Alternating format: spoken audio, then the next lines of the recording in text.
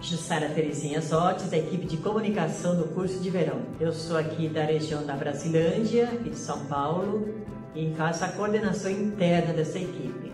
Nessa equipe a gente trabalha diversas mídias, também por profissionais das diversas áreas de comunicação.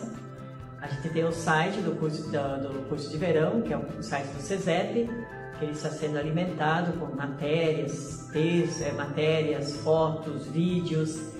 É, também é feito o trabalho de transmissão do curso de verão todos os dias, as palestras no Tuca, que é feito pela Rede Rua de Comunicação. E ainda aqui nós temos todo um trabalho de fotos, de vídeos, né, que vai estar disponível aí no Facebook, bem como é, no site do curso. É, convido a todos né, para o ano que vem né, vir é, compartilhar aí com todos né, o curso de verão que tem como tema cuidar da casa, casa comum por uma sociedade sustentável.